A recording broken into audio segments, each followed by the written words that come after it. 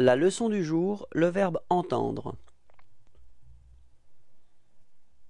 Verbe entendre mode.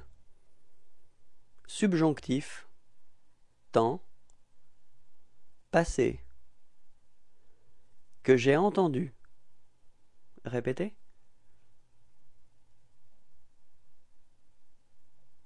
Que tu aies entendu. Répétez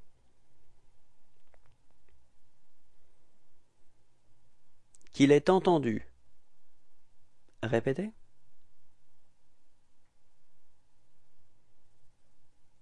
Que nous ayons entendu. Répétez. Que vous ayez entendu. Répétez.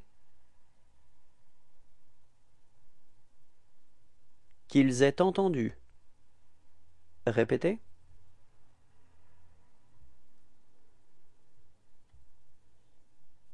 Au revoir et à bientôt.